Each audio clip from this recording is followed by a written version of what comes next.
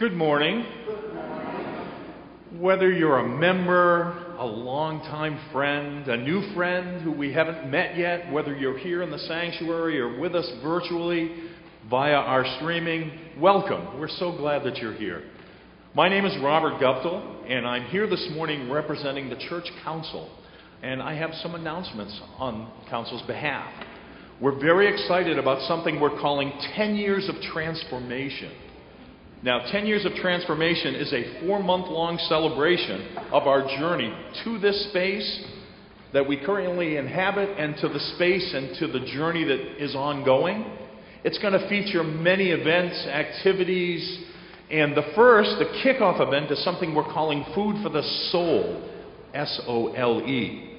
This kickoff celebration, Food for the Soul, is an open mic poetry slam event that we hope is going to be something that happens every month. The first one will be Saturday, the 20th of September at 7 p.m. And that title is not misspelled, the S O L E. The reason we're calling it that is the goodwill offering that's going to take place at this event uh, will go towards getting good footwear, good shoes for the homeless.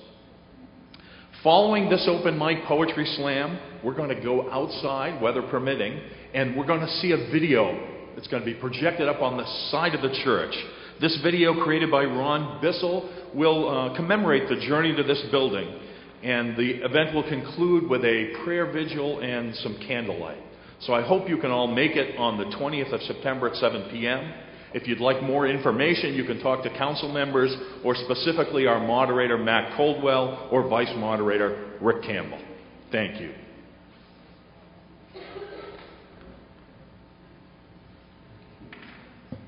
Hi, uh, good morning. Uh, my name is uh, Tom Kircher, and I have I have a couple of uh, announcements to make. One is uh, regarding the shoe ministry that uh, Robert alluded to. Um, I want to just tell a very short story, knowing that Doug is probably cringing right now.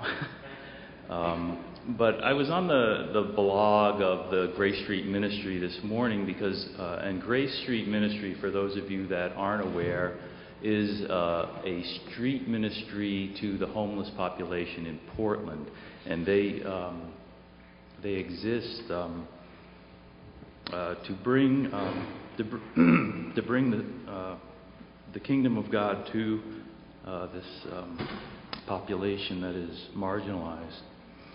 And uh, she talked about um, a woman that uh, was part of the homeless population in Portland, um, lived on the, living on the streets uh, for a couple of years. And it was a very simple event. She um, they had been doing some street repairs, and this woman had stepped in the tar and gotten tar on her sandals, and um, and she had tried to wipe it off with her hands, and she got tar on her hands, and it was it was just enough of a of a dislocation for this woman to uh, be, just become despondent and uh, she talked to the to the, the pastor, the street pastor, and she just said, "I've had enough. I just want out." And uh, the pastor, you know, took this woman's hands and rubbed them and, and, and rubbed the tar and, and told her that it would wash out and calmed her down and and uh, the woman went away, eh, you know, feeling uh, a little better about things and and then, uh, you know, this woman, the pastor, uh, uh, went on her way, and then she realized that, um, you know, her hands were also uh, black and sticky from the tar. And uh, so on her blog this morning, uh, she wondered, um, you know, if it's really possible to engage in in the work of the kingdom of God without kind of coming away, you know, with a little bit of the world's suffering on, you know, on your hands. And uh, the reason I'm telling this story is because there's two opportunities for anybody really that's interested to get involved in uh, some activity that might take us out of our comfort zone. uh, which is really what that story was all about. When we go out of our comfort zone, we come away changed. And, uh, and, and so one is the shoe ministry. And this is a ministry that we're just starting through the mission team, which is basically to uh, collect um, footwear for the homeless and economically disadvantaged population. Uh, and we're looking for a couple of people that might help us be interested in organizing that uh, ministry. So I'll have a sign up sheet out after church uh, if you're interested. And the other is something that I talked about before. It's about a peace walk that's going to be happening in October. And we're looking for families that might be able and willing to host a walker on Sunday, October 19th, and serve that walker breakfast and return the walker here to First Parish. Uh, they're very interesting uh, people. If you host a walker, I assure you that it will be a very memorable uh, uh, occasion for you and your family. So I'll be out after church. Thank you.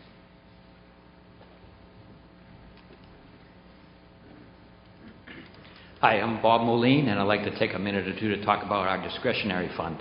Uh, once a month, always on the Communion Sunday, there is an envelope either in, in the pews or in the uh, envelope packages that everybody gets when you pledge. And it's there it's designed to allow our minister Doug to use that money as a discretion as he wants to. As obviously, that's why it's a discretionary fund. And people who are in need, uh, friends of the church or members or whatever, can come to Doug and ask him in confidence for assistance, such as food assistance or fuel assistance or whatever hard times you may have fallen onto. And uh, Doug has the option of taking that money and giving it out. So if you could uh, consider that this morning, we'd really appreciate it. Thank you.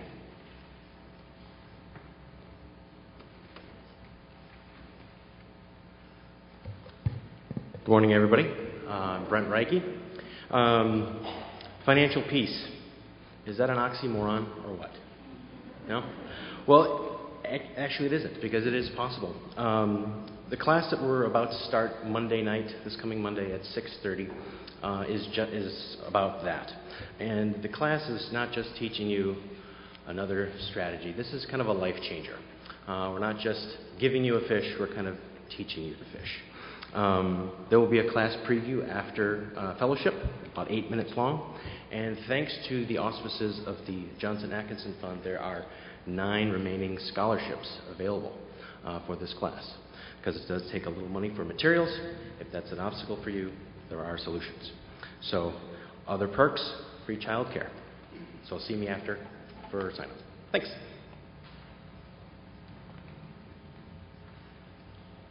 One very quick follow up to that last announcement.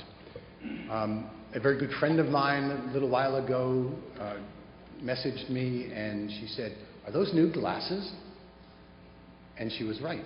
These are new glasses. And I got them just south of here at an optician. And the intake person that was taking my um, contact information, she said, Oh, are you the pastor of the church up the street? And I said, Yeah, I am. She said, Oh, I went last spring, I went to that financial peace event. It has changed my life.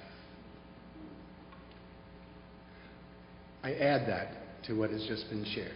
If that is an issue for you, a stewardship issue for you, if that is something that you even want to find more about, come here after worship. Welcome to all of you. You are the body of Christ. You have chosen to be here. I give God thanks for that.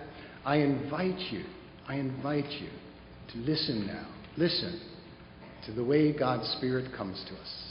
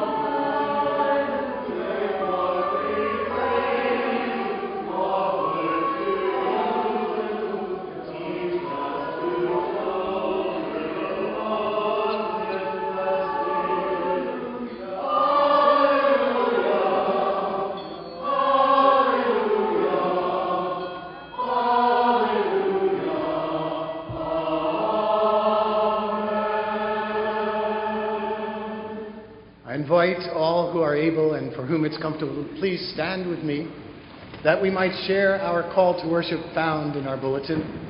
It's an adaptation of Psalm 146. It begins, Praise the Lord. Praise the Lord, O my soul. I will praise the Lord as long as I live. I will sing praises to my God all my life long.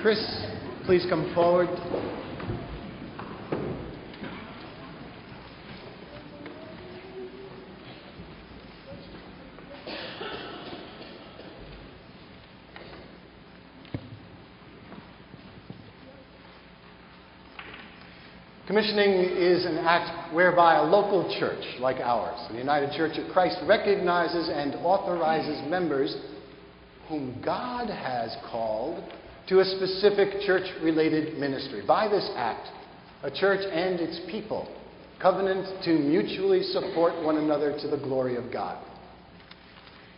Would you please stand as I call your name? In our pre K kindergarten class, we have Jenica Goslin and Christy Dorsey. In our first and second grade class, we have Rachel and Brent Reiki.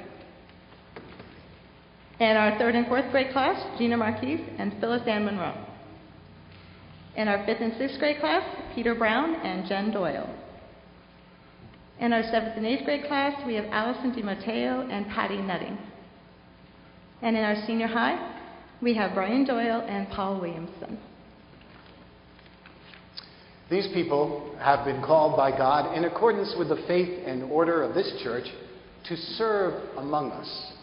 They have accepted their call and are before us in a witness to their willingness to serve. Friends in Christ, it is an honor to be entrusted with responsibility for particular ministry within the life of the church. As church school teachers, you are entrusted with the most precious gift of any community its children. Having prayerfully considered the duties and responsibilities of your ministry, Are you prepared to serve with the help of God in Christ's name? If so, please say, I am. Well, now come on, say it a little more enthusiastically. Oh, I heard One it. more time. Much better. Do you promise to exercise your ministry diligently and faithfully, showing forth the love of God? Oh, my goodness. We're going to get this together. Oh, you just have to read it, honest to God. Do you promise? We'll try this again till we get it right. Do you promise to exercise your ministry diligently and faithfully, showing forth the love of Christ? Children and youth, please stand. Children and youth, did you hear the promises of your teachers? If so, please say, Yes, I did.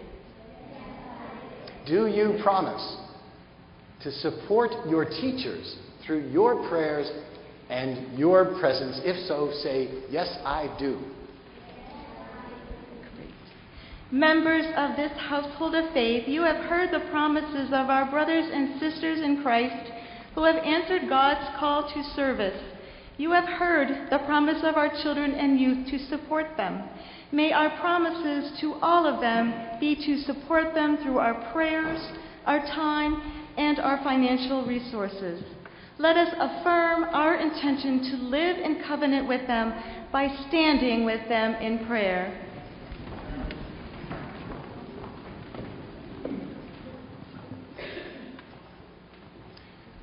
Eternal God, you have called these people to serve you in this church and in the world. Send your Holy Spirit upon them that they may serve among us with honor and faithfulness. Help them to be diligent in their duties, that all your children may grow and your church may prosper in the mission you place before it. May their example prove worthy for all of us to follow as we are united in Christ's ministry to the glory of your name. Amen. In the name of Jesus Christ. And on behalf of the people of First Parish Congregational Church, United Church of Christ, I rejoice to announce you are commissioned, recognized, and affirmed in your ministry in this community of faith. And let the people say, Thanks be to God.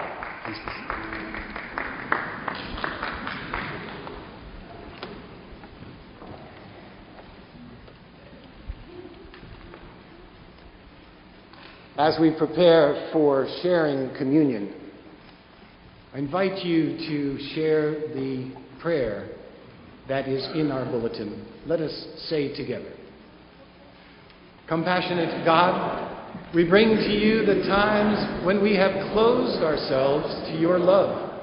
Too often have we clung to our fear, our guilt, our self hatred, rather than to let ourselves be warmed and healed by your love. Too often have we closed our hearts, refusing to be channels of your love to others. Too often have we been frozen like winter ice and snow. Melt now our hearts with the glow of your forgiveness and give us courage to trust you, to let your love flow through us to others. In Jesus' name we pray. Amen.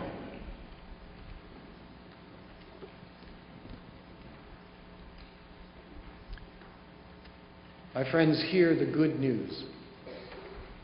And the good news is there is nothing that you have done or left undone.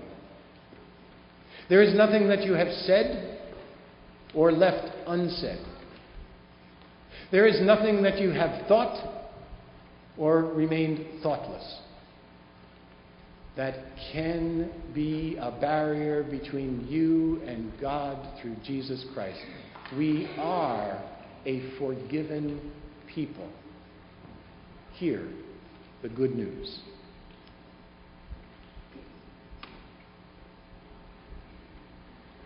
This church celebrates an open communion table, which is to say that anyone who loves God and seeks the peace of Christ with their neighbors are welcome to partake.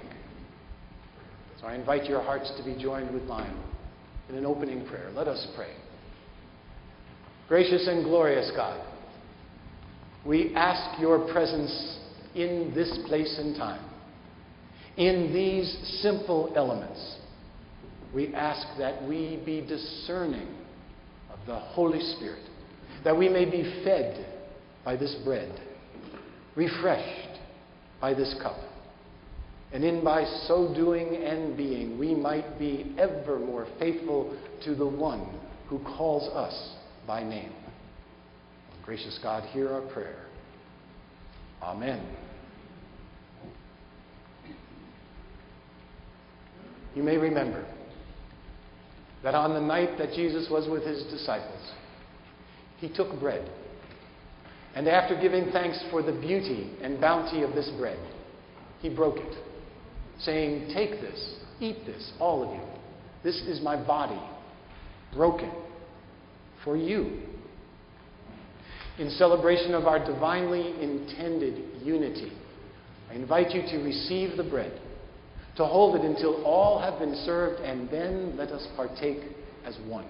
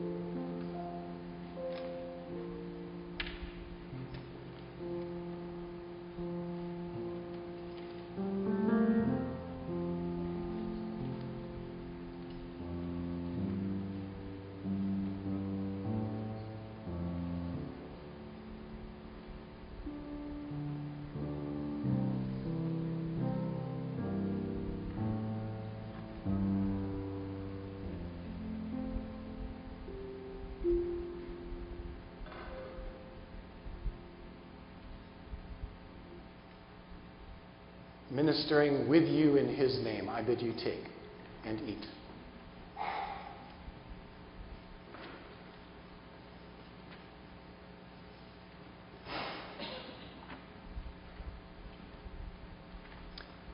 Later in the same meal, again after giving thanks for its beauty and its bounty, our Lord Jesus took cup. And he shared it with his disciples, saying, Take and drink this, all of you. This is my blood. This is the new covenant, shed for all for the forgiveness of sins. As often as you do this, do this in remembrance of me.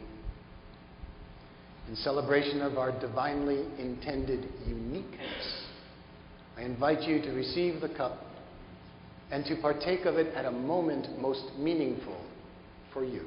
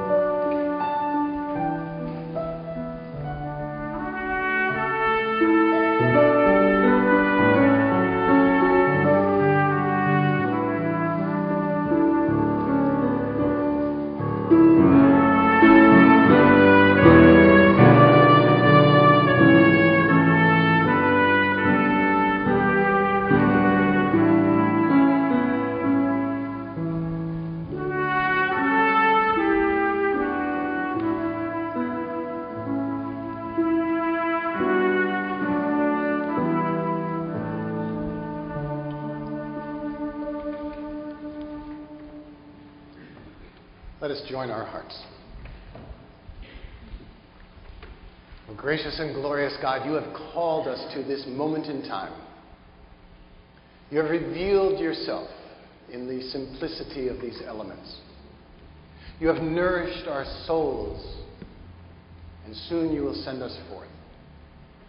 Grant that we may be so sustained in the sharing of this meal that the sharing of the good news will be easily done with all of your creation. Gracious God, we give you thanks. Amen. And I invite the church school to go to their classes at this time.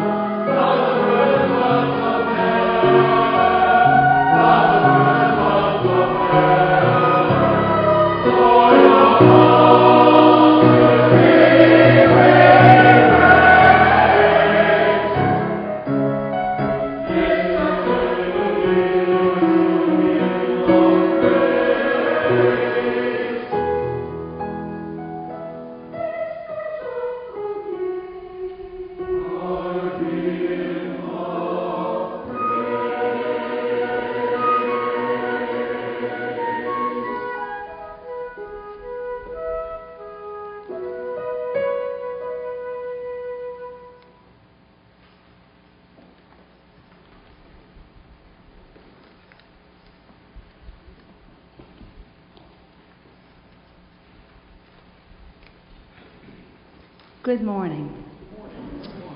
The books of the Bible preceding Exodus present God as a creator, moral judge through ancient traditions of creation and flood. Now God is about to reveal himself more in his character and person to the Israelites and the Egyptians who have enslaved them. This has deepened my appreciation of the person who the Lord is.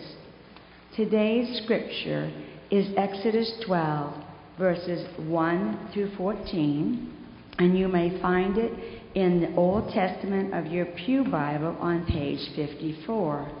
I will be reading from the New International Version.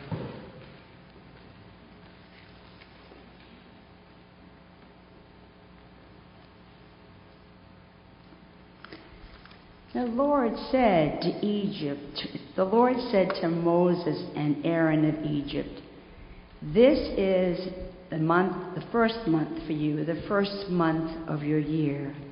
Tell the whole community of Israel that on the tenth day of this month, each man is to take a lamb for his family, one for each household. If any household is too small for a whole lamb, they must share one with their nearest neighbor, having taken into account the number of people there are. You are to determine the amount of lamb in accordance with the amount that each person will eat. The lambs you choose must be a one year old male without defect, and you may take them for, from sheep or the goat. Take care of them until the fourteenth day of the month, when all the members of the community of Israel must slaughter them at twilight. They are to take the blood and put it on the sides and the tops of the door frames of the houses where they are to eat the lambs. That same night they are to eat the meat roasted over a fire along with bitter herbs and bread with no yeast. Do not eat the meat raw or boiled in water, but roast it over fire with the head, legs, and internal organs. Do not leave any of it until morning, and if anything is left, then you must burn it. This is how you are to eat it with your cloak tucked into your belt, your sandals on your feet, and your staff in your hands. Eat it in haste. This is the Lord's Passover. On that same night, I will pass through Egypt and strike down every firstborn both of people and animals. I will bring judgment on all of the gods of Egypt. I am the Lord. The blood will be a sign for you on the houses where you are. And when I see that blood, I will pass over you. No destructive plague, plague will touch you when I strike Egypt. This is the day you are to commemorate for generations to come you shall celebrate it as the festival of the Lord, a lasting ordinance.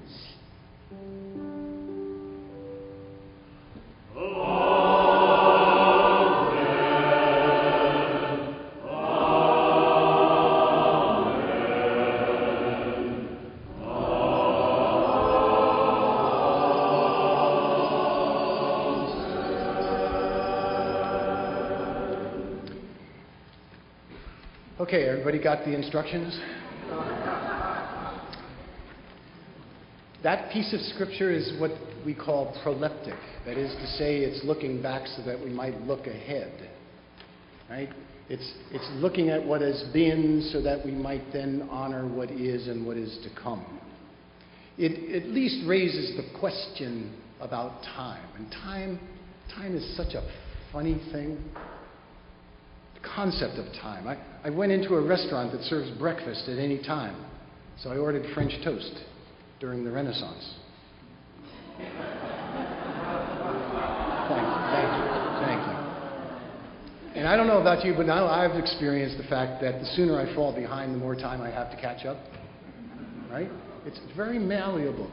A church that I know about wanted to help the congregation, not, certainly not like any of you who come in about 10 after 5 here for the service, but a church wanted to somehow better understand and release and, and attend to the stresses of modern life. And so that church decided to do a course on time management. So soon after the course was announced, a member telephoned the pastor and said, Pastor, what time does that course start?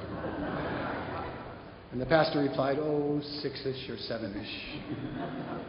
time is just, just weird. I, I put instant coffee into the microwave and almost went back in time.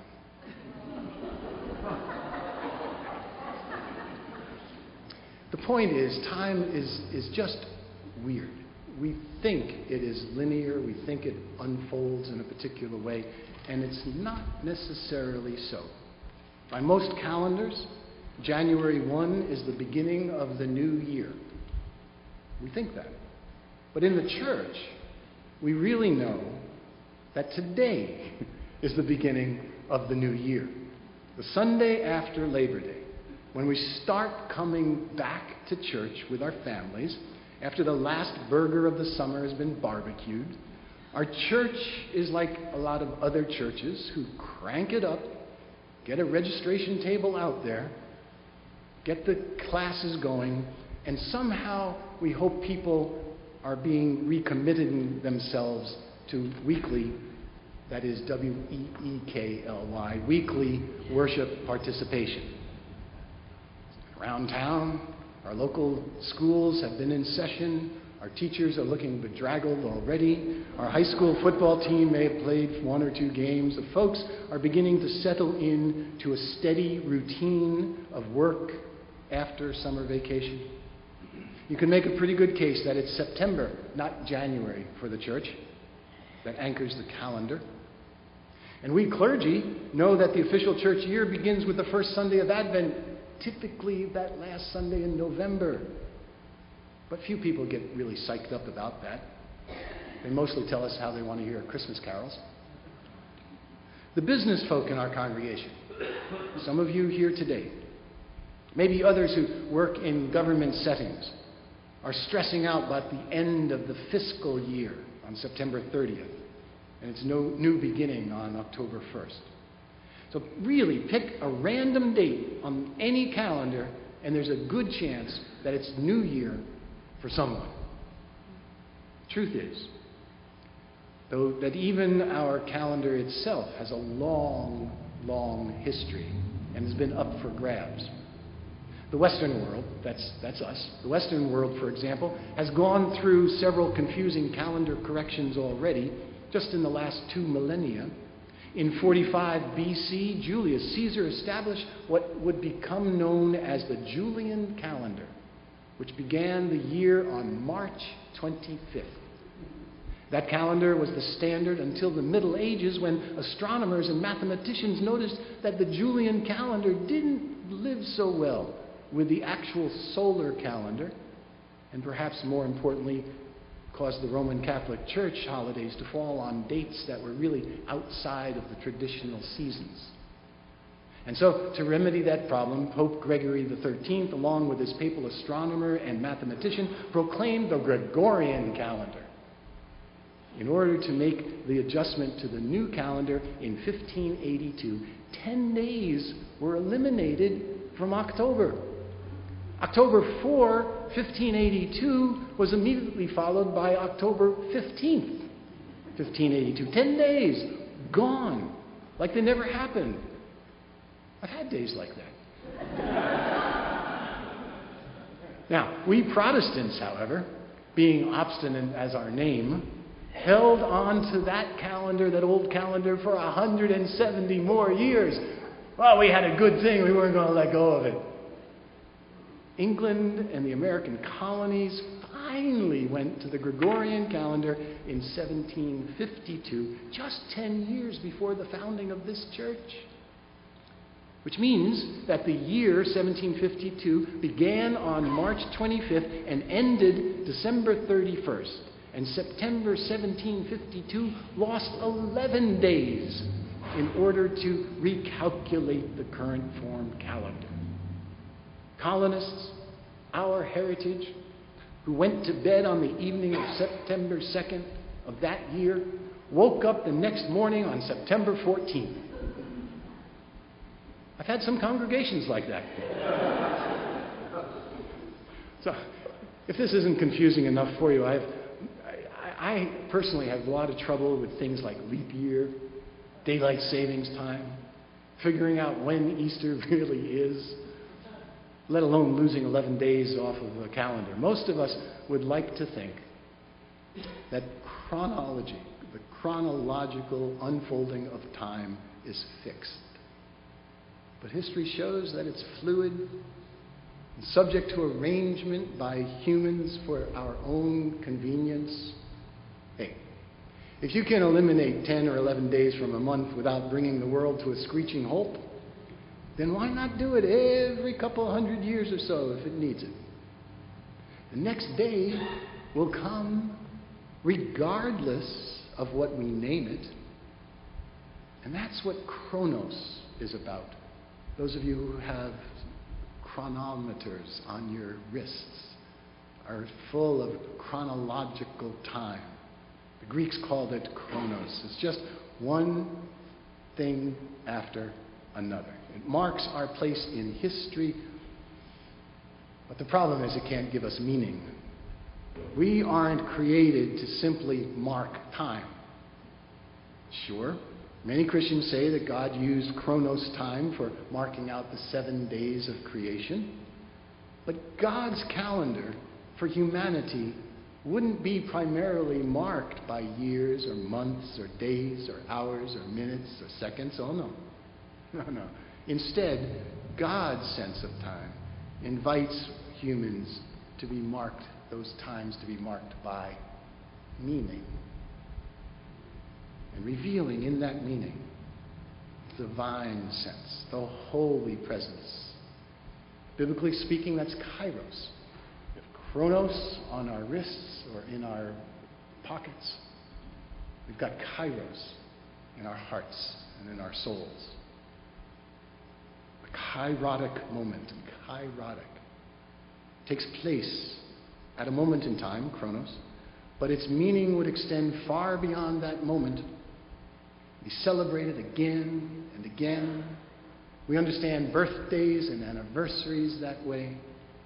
The past is never really the past. It's brought into the present moment. So all of what you just heard Linda share with you, is about the Passover.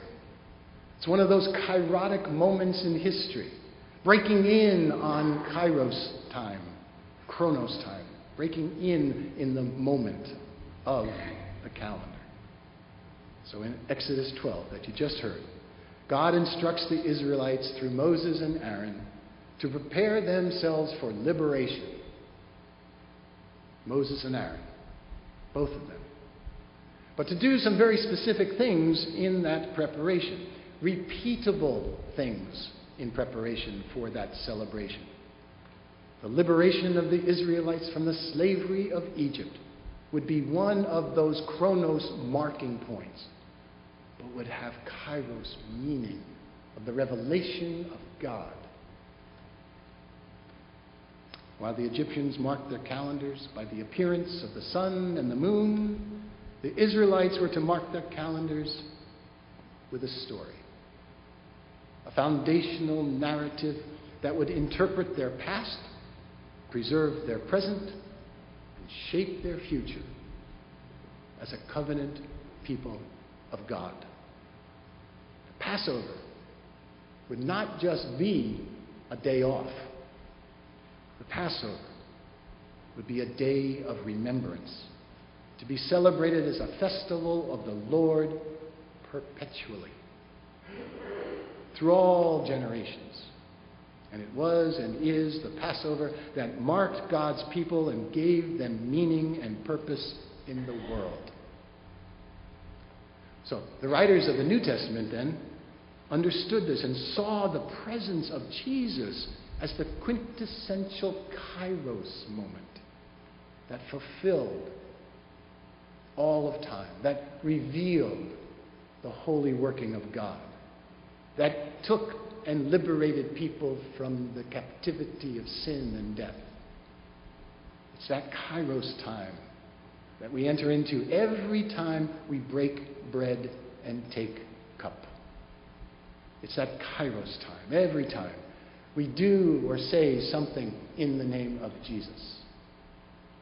The early Christians changed the chronos day of worship from Saturday, the Jewish Sabbath, to Sunday as a way of celebrating the ongoing resurrection. Every Sunday is a celebration of resurrection.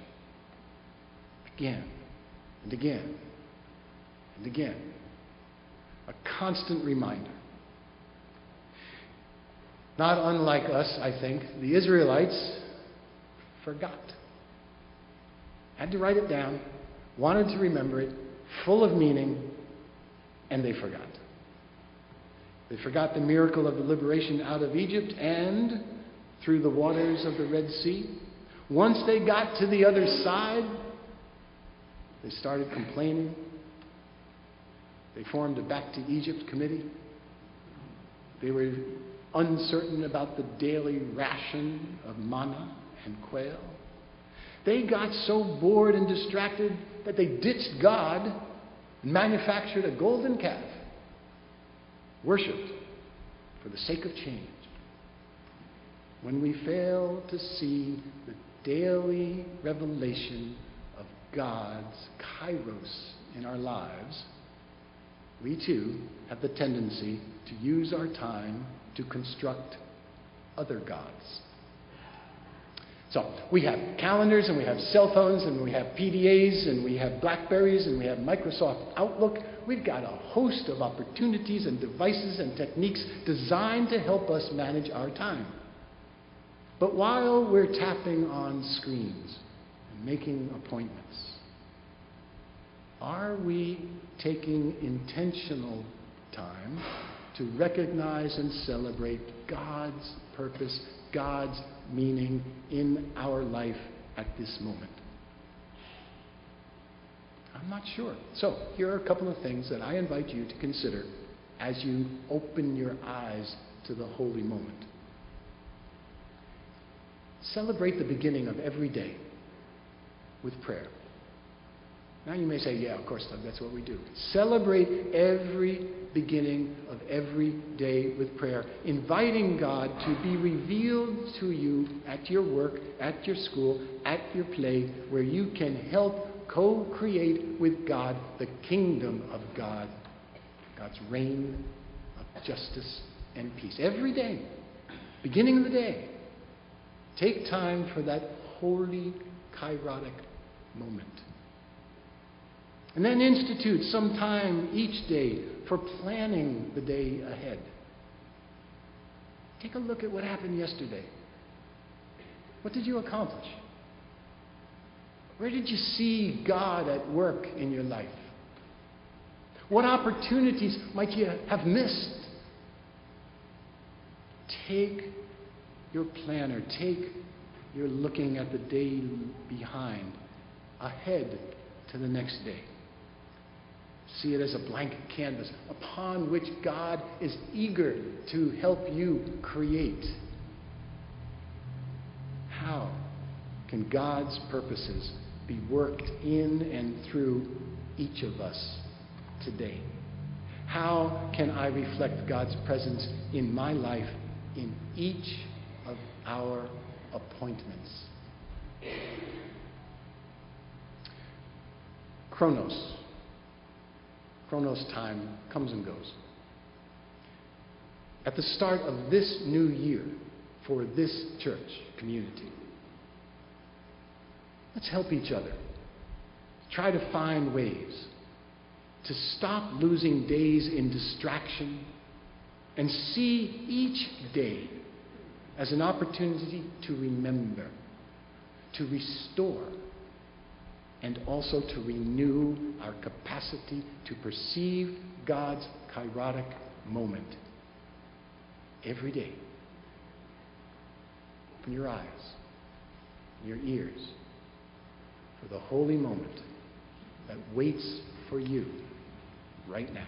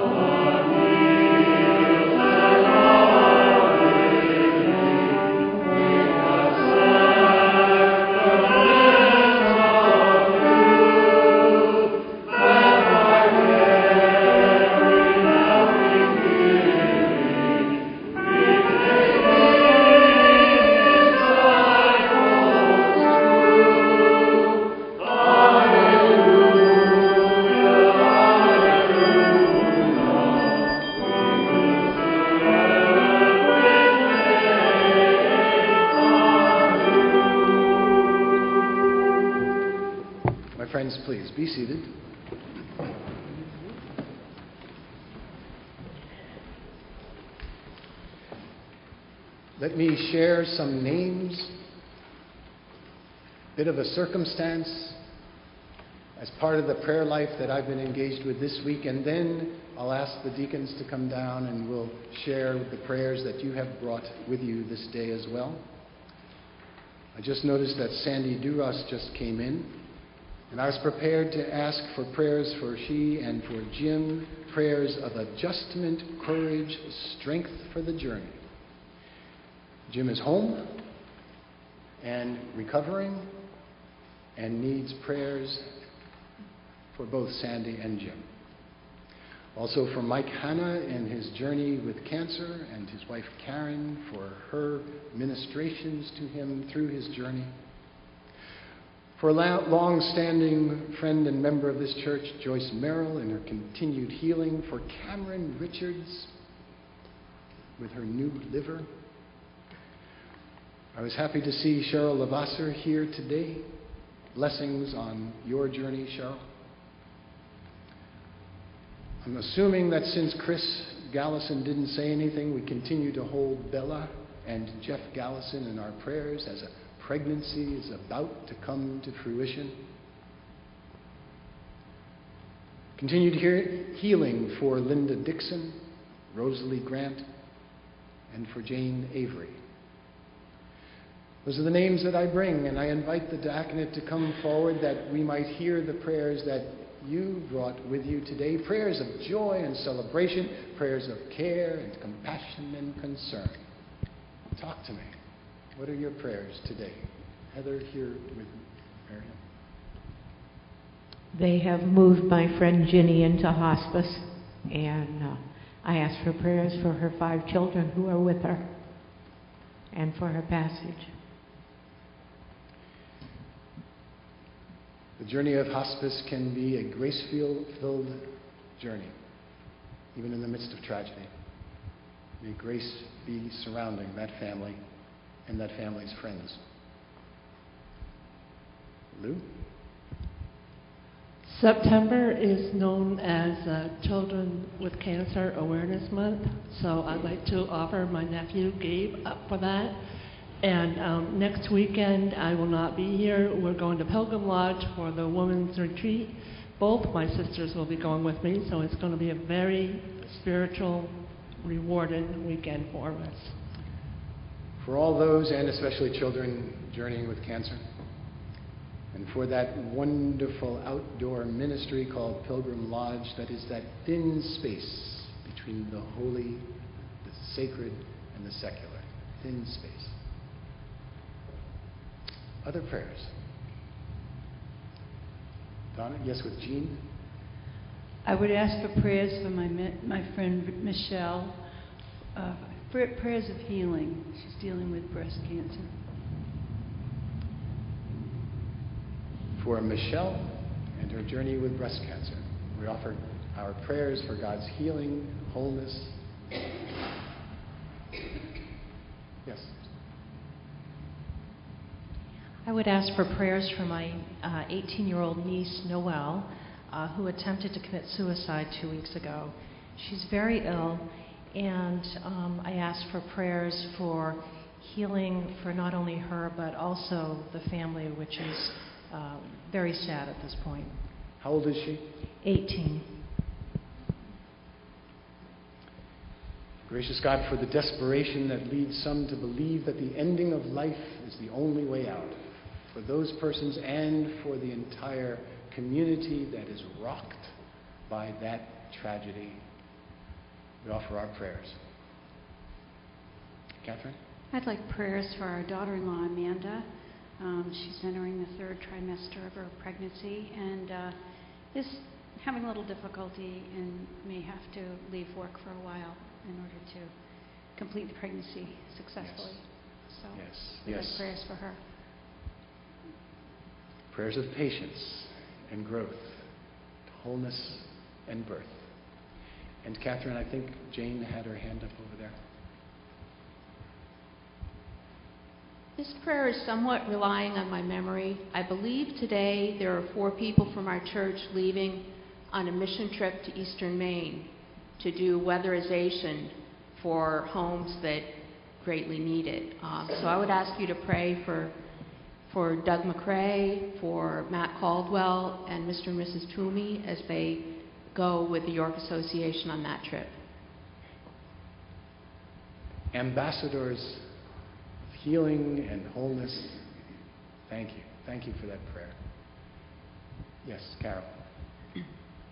I'm going to second Jane's prayer, because that was part of my prayer. Um, the other part of my prayer is uh, for the wonderful weekend that we just spent at the Ellis's house as uh, deacons, and for those deacons who are still there. I pray for a, a safe journey home and for all of us a, a deepening of our um, faith and commitment. Thank you. Amen. Thank you. Donna, back there.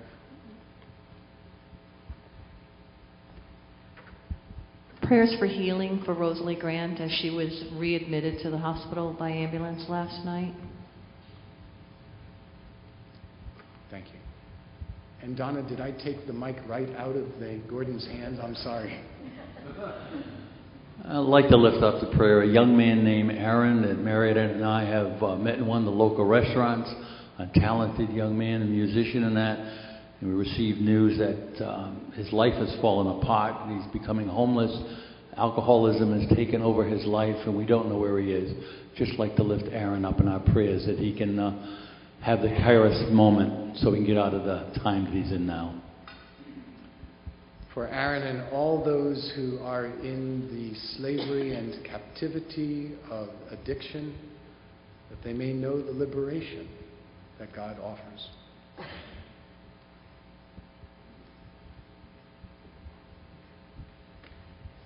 I'd like to ask for prayers for our friend and choir member Louise Stewart, who lost a daughter this past week.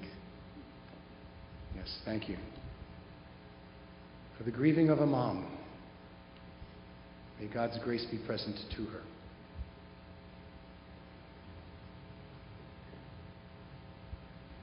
Haley? Mine is joy for the beautiful music and uh, program that was presented here last night, for all of the first responders that were here, for the joy and acceptance of all of this horror that's going on. The worst for us was what was memorialized last night was 9 11. The way that this facility can be used to honor and celebrate. We give thanks. Yes, we'd like uh, to thank you, Doug, and all of uh, the members of uh, First Parish for all of their uh, prayers. That uh, we have an MRI that came back from Mass General, and everything was negative now. Thank you so much. I never quite know how to say that prayer. Thanks be to God for nothing. Um, I get it. Thanks be to God. Yes. Bob and I are celebrating our 58th wedding anniversary tomorrow.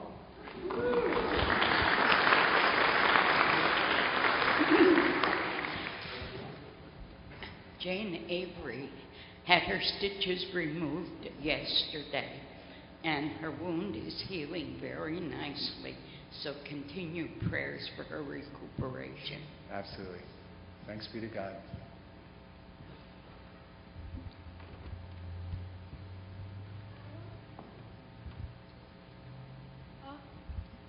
Hold it close. Okay. Um, I want to ask for prayers for everyone who, like, I've met who hasn't had the opportunity to know the glory of God, because there's too many of them.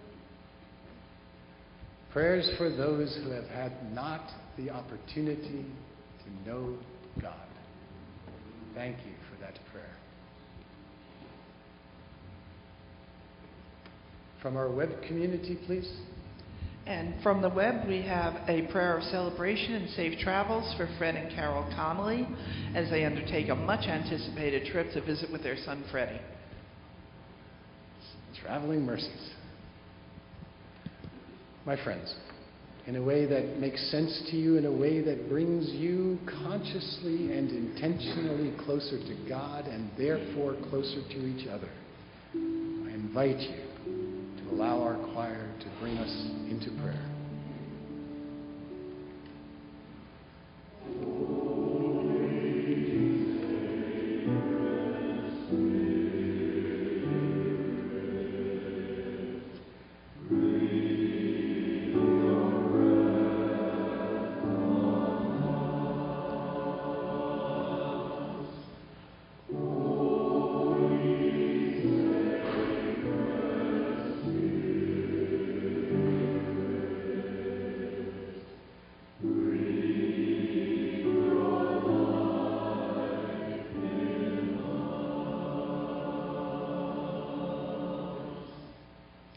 Most holy and gracious God, giver of life, conqueror of death, you have brought us to this moment in time. Thank you. May this moment in time be filled with your holiness. May we sense your spirit with us. Hear the prayers of your people as we've spoken out names whose journeys are difficult at this time. God, be Emmanuel for them. God with us. And for the circumstances and situations that have been lifted up as well anxieties, confusions, doubts, desperations, and depressions. Banish these demons, O Lord, in the light of your love, in the freedom and the liberation of your love. Oh, and if we can help, if we can be your hands in a certain circumstance, if we can be a compassionate presence and sit beside someone in their desperation, God, help us to so be and so do. And God, for those prayers around which we no longer have any words, or the words haven't come to us yet, or we've been shy about speaking them out, Lord, hear these prayers as well. That somehow, beyond our capacity to fully understand, we may participate in the creation of your kingdom, where all your children gather in peace. And insofar as it up to us, let us be instruments of your peace. Hear our prayers and guide our steps and use our lives all to the glory of your name and in the desire to follow in the footsteps of the one who has taught us to pray by saying, Our Father, who art in heaven, hallowed be thy name. Thy kingdom come, thy will be done, on earth as it is in heaven. Give us this day our daily bread, and forgive us our debts, as we forgive our debtors. And lead us not into temptation, but deliver us from evil. For thine is the kingdom, and the power, and the glory forever. Amen.